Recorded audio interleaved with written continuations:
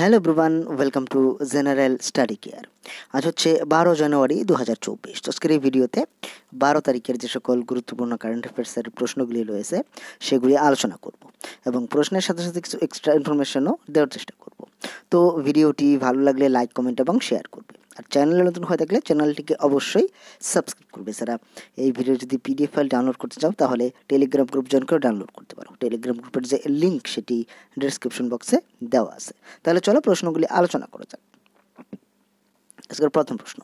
প্রথম প্রশ্ন হচ্ছে, সম্প্রতি গ্যাব্রিয়েল আর্টাল কোন দেশের কনিষ্ঠ প্রধানমন্ত্রী হিসেবে নিযুক্ত হয়েছেন? তো সঠিক উত্তর কি? Option D France. তো সম্প্রতি ফ্রান্সের নতুন প্রধানমন্ত্রী হয়েছেন গ্যাব্রিয়েল আর্টাল। অ্যাকচুয়ালি ইনি ফ্রান্সের সবচেয়ে কম বয়সী বা কনিষ্ঠতম প্রধানমন্ত্রী হিসেবে নিযুক্ত হয়েছেন। তো ইনি মাত্র চৌত্রিশ বছর বয়সে ফ্রান্সের প্রধানমন্ত্রী হিসেবে নিযুক্ত হলেন এবং সবচেয়ে কম বয়সী প্রধানমন্ত্রীর সঙ্গে সঙ্গে কিন্তু ইনি ফ্রান্সের প্রথম সমলৈঙ্গিক প্রধানমন্ত্রী হিসেবেও নিযুক্ত হলেন। তো সঠিক উত্তর কি? Option D France. এর আগে কিন্তু ফ্রান্সের প্রধানমন্ত্রী ছিলেন এলিজাবেথ ব্রোন আর নতুন হলেন কে? এই গ্যাব্রিয়েল আর্টাল।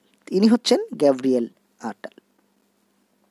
আচ্ছা একটু ফ্রান্স সম্পর্কে বলি। ফ্রান্সের রাজধানী প্যারিস, ফ্রান্সের মুদ্রা ফ্র্যাঙ্ক এবং ইউরো, আর ফ্রান্সের প্রেসিডেন্ট রাষ্ট্রপতিকে এমারুল ম্যাক্রন। আর নতুন প্রধানমন্ত্রী হলেন গ্যাব্রিয়েল আর্টাল। আচ্ছা সাম্প্রতিক সময়ে যে অন্যান্য দেশে এই রাষ্ট্রপতি এবং প্রধানমন্ত্রীগণ নিযুক্ত হয়েছেন, সেগুলি বলি। যেরকম সম্প্রতি জেভিয়ার মেইলি আর্জেন্টিনার নতুন প্রেসিডেন্ট হিসেবে নিযুক্ত হয়েছেন।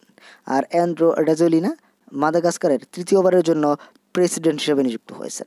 এছাড়া সম্প্রতি ডোনাল্ড টাস্ক পোল্যান্ডের নতুন প্রধানমন্ত্রী হিসেবে নিযুক্ত হয়েছেন। আর সম্প্রতি এই আবদেল ফাতে আল সিসি পুনরায় ইজিপ্টের প্রেসিডেন্ট হিসেবে নিযুক্ত হয়েছেন। এছাড়া সম্প্রতি প্রধানমন্ত্রী শেখ হাসিনা অ্যাকচুয়ালি বাংলাদেশের যে প্রধানমন্ত্রী শেখ হাসিনা, তিনি কিন্তু পুনরায় আবার নির্বাচিত হয়েছেন প্রধানমন্ত্রী হিসেবে। পরের প্রশ্ন।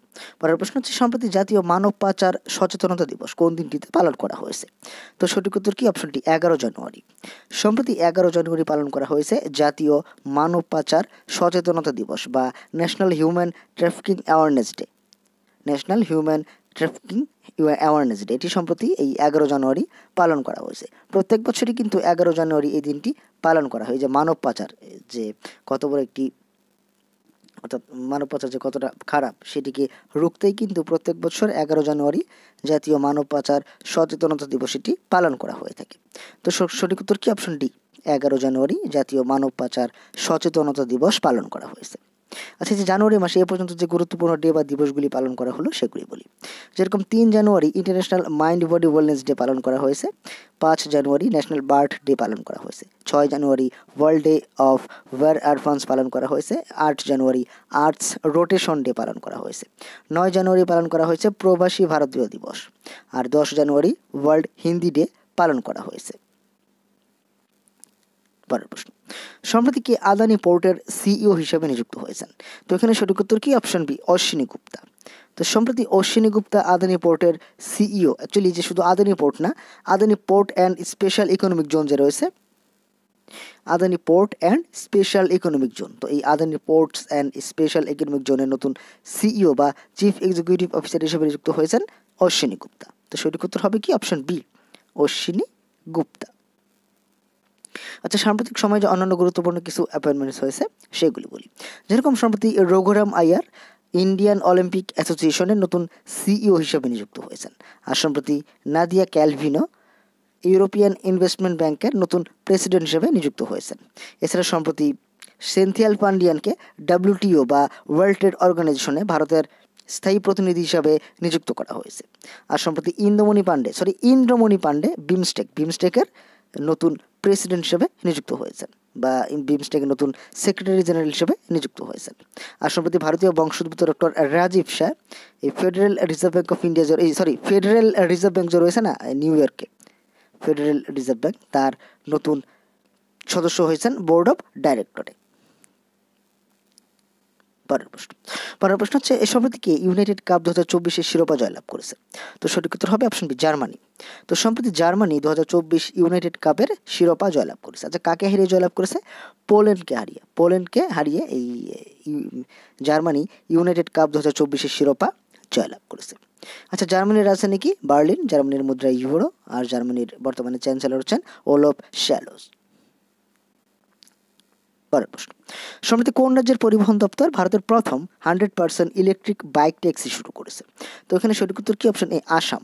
তো সম্প্রতি আসামের যে, আসাম রাজ্যের যে এই পরিবহন দপ্তর রয়েছে না, আসাম রাজ্যের পরিবহন দপ্তর এএসটিসি তো তারা এই প্রথমবার hundred percent electric bike taxi পরিষেবা শুরু করেছে। এবং নাম দেওয়া হয়েছে কি? নাম দেওয়া হয়েছে বায়ু বায়ু। তো সঠিক উত্তর কি?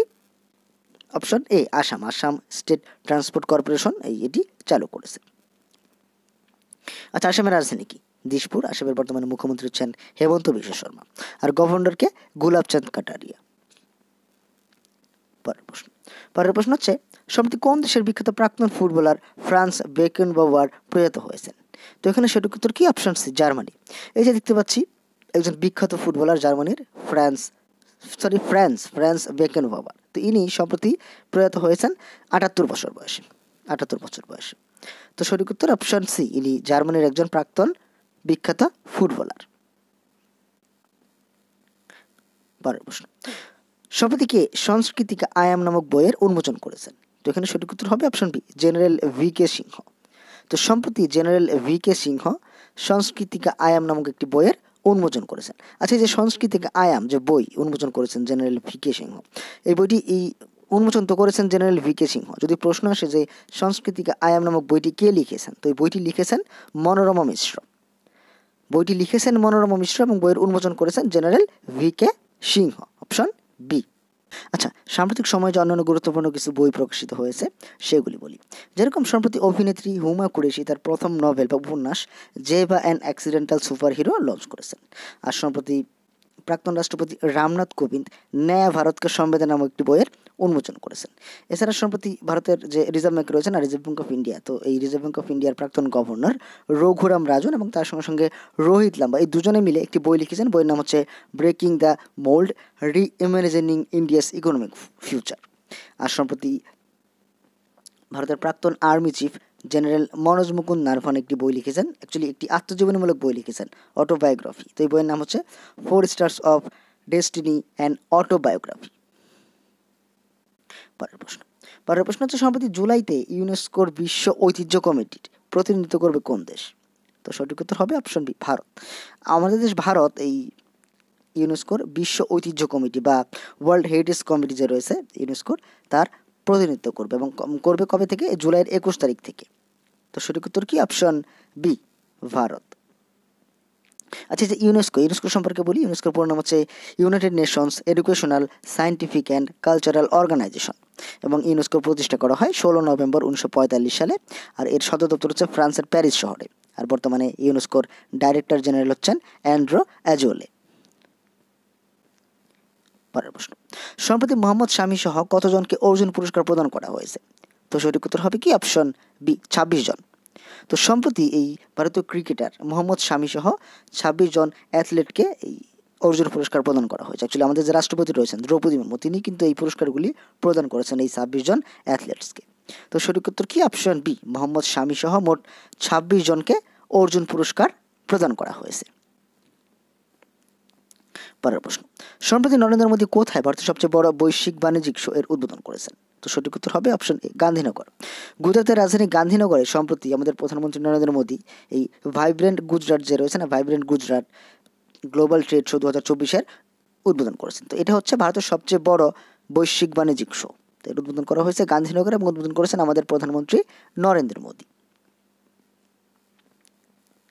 এবার গতদিন তোমাদের যে প্রশ্ন করেছিলাম, প্রশ্ন ছিল সম্প্রতি কে বিমস্টেকের মহাসচিবের দায়িত্বভার গ্রহণ করেছেন? তো সঠিক উত্তর হবে কি? অপশন বি ইন্দ্রমণি পাণ্ডে একটু আগেই বললাম যে সম্প্রতি বিমস্টেকের মহাসচিবের দায়িত্বভার গ্রহণ করেছেন ভারতীয় ইন্দ্রমণি পাণ্ডে আচ্ছা বিমস্টেকের সদর দপ্তর কোথায়? ঢাকাতে। বাংলাদেশের রাজধানী ঢাকাতে। এবার আজকের প্রশ্ন। অর্থাৎ তোমাদের জন্য যে প্রশ্ন থাকবে, প্রশ্ন হচ্ছে সম্প্রতি কাকে নিউ ইয়র্কে ফেডারেল রিজার্ভ ব্যাংকের পরিচালনা পর্ষদে সামিল করা হয়েছে?